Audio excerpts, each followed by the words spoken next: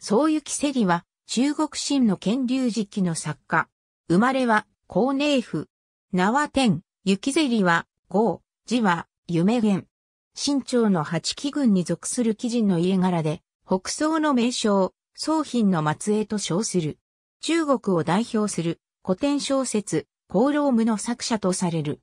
功労無の出版を援助し、評論を付した油鈴里祭は、総行ゼリの一族という説が有力である。総行ゼリの家は曽祖父宗寺の代から三代四人に渡って、高寧式作りの職につき、江南で新朝のために情報収集活動を行っていた。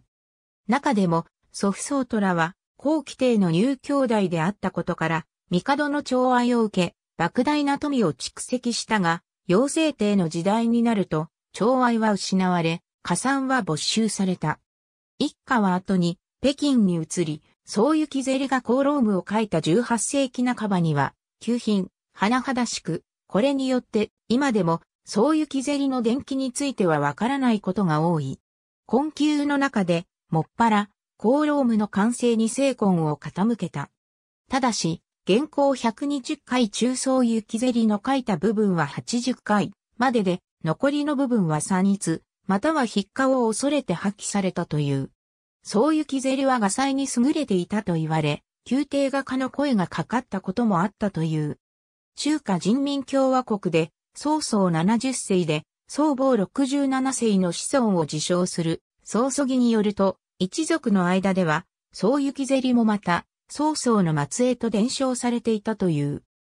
なお、コーローム、性同一性障害者のユートピア小説で、コーロームの主人公、下方玉の得意なキャラクターは、宝玉が性同一性障害であったためであるという説を立てた、相山極ムは、宝玉のモデルが作者自身であるという説が有力であることや、また当時の中国の男性にしては尋常でなく女性の心理や生活の描写が巧みである点などからして、そういうキセリ本人も性同一性障害であったのではないかと推測している。